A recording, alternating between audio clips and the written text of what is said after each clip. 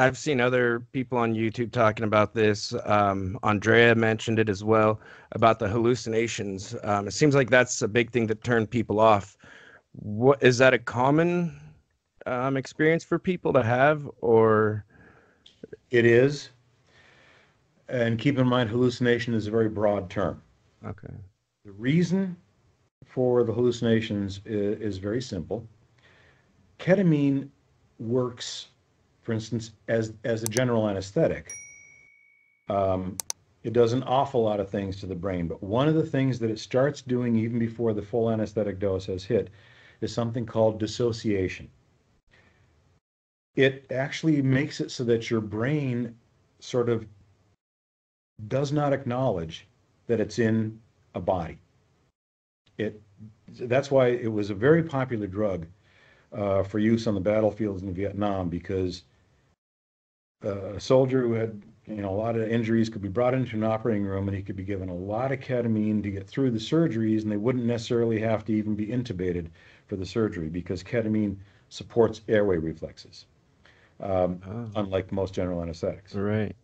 and so that they would actually be have their eyes open during the surgery, but they would not really know that their leg was being amputated.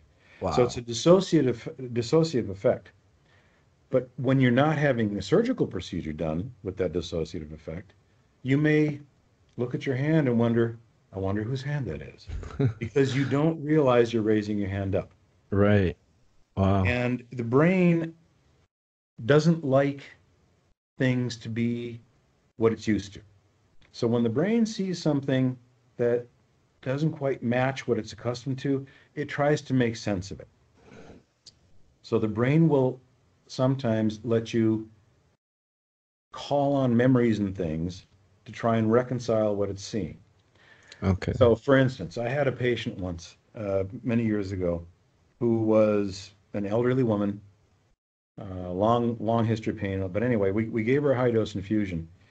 And at the end of the infusion, myself, all the nursing staff were there with her as she was emerging back into normalcy. And she looked at me and she said, Oh my gosh, you were Tigger from the, the Disney. And, Right. and that nurse was a giant flower with petals coming out of her head. Well, this woman's a grandmother, and she was reading bedtime stories to her grandchildren every night. So her brain, in order to try to make some sort of sense of what it couldn't figure out, Yeah. conjured up the bedtime story. and then we've had other patients who will have some bad experiences.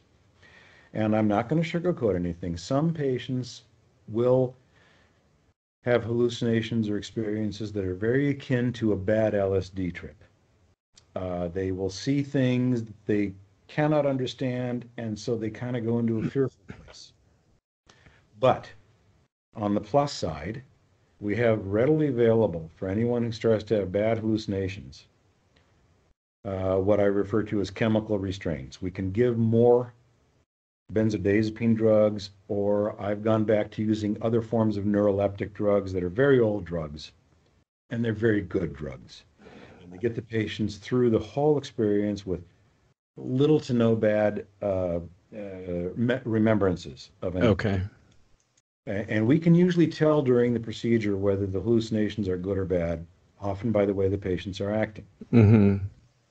And also to make people feel a little more comfortable about it, it's a rare patient who at the end of the procedure remembers very much about their hallucinations. Okay. I had one patient who was a very famous person, and, and when I, and he was very difficult to control under the, under the uh, uh, infusion. He was constantly wanting to crawl out of the gurney and go do things, and uh, very unruly, let's just say. Right. Even with the chemical restraints, the nurses would have their hands full keeping him in the gurney. Mm-hmm. Nothing violent ever. Okay. And when we were done, as he was coming back into normalcy, I would say to him, "So, do you remember uh, what you're trying? What? I was just laying here." so, the hallucinations are not something that should give people any kind of fear.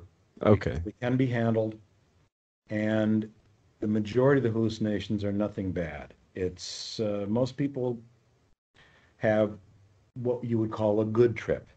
Okay. amphetamine. In fact, um, I listened to part of one of the podcasts um, by these guys. I think you may have sent me the link to it, or or uh, maybe somebody else did. It's it's I can't remember the name of it now, but it's podcast for uh, people uh, that are in, in chronic pain or suffering from PS, PTSD and, and, and depression. So it's all, mm-hmm. a lot of it was about ketamine, and they they use the term tripping on ketamine on the podcast, okay. and that's kind of what it is, especially mm-hmm. low dose for depression.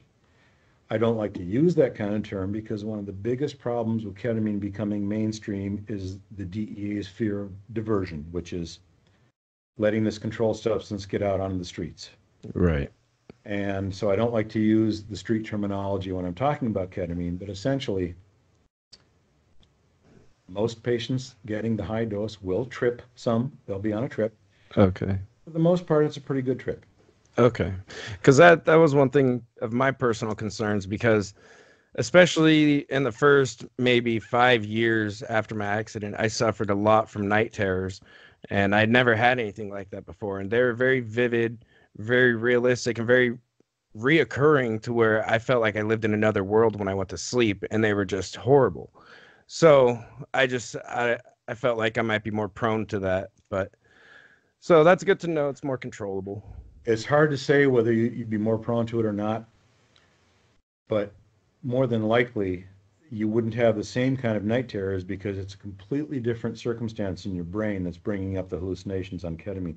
It's actually almost directly caused by the chemical ketamine. Okay. Well, and I kind of always assumed too that a lot of my dreams come from translation of the pain into dreams, kind of like that. That's how my body's recognizing the pain in the dreams.